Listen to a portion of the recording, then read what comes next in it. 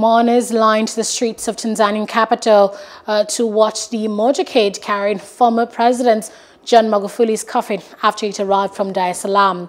Motorbikes raised the head of the hearse and some mourners jogged alongside as they paid their respects. A state funeral was held at the Dar es Salaam Uhuru Stadium on Sunday morning.